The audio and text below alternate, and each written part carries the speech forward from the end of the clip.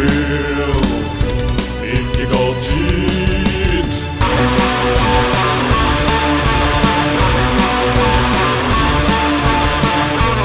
Dette ble rasseglad. Vi var ikke glad selv.